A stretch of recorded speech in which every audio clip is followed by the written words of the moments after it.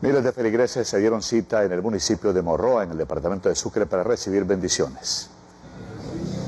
Miles de feligreses, todos los 3 de febrero, día de San Blas, llegan al municipio de Morroa, tierra artesanal del departamento de Sucre, para que se les bendiga su garganta. Son seguidores y son feligreses de esta creencia que realmente les ha dado lo que ellos han solicitado para que lleven ese anuncio a los pobres, a los sencillos, a los humildes, porque a veces pedimos que nos de la garganta, pero con la boca podemos afectar y dañar la integridad del otro, calumniando, difamando, maldiciendo.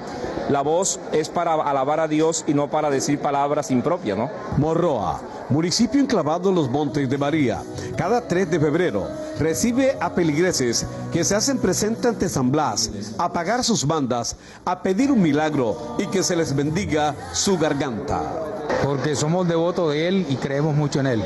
Porque es el patrón de nuestro pueblo y es bendito aquí en Morroa. Que yo siempre he sido trayectoria de mi padre, de todos nosotros, la familia agradecida con San Blas y la Virgen de la Candelaria que ayer no pude pararme esa Para que nos bendizca la garganta, para que el Señor nos llene de muchas bendiciones. Desde el municipio de Morroa, tierra de los Montes de María, en el departamento de Sucre, con la cámara de Carlos Ruz Ortega, informó Rodrigo Ruz Ruz para Televista, el noticiero de la gente.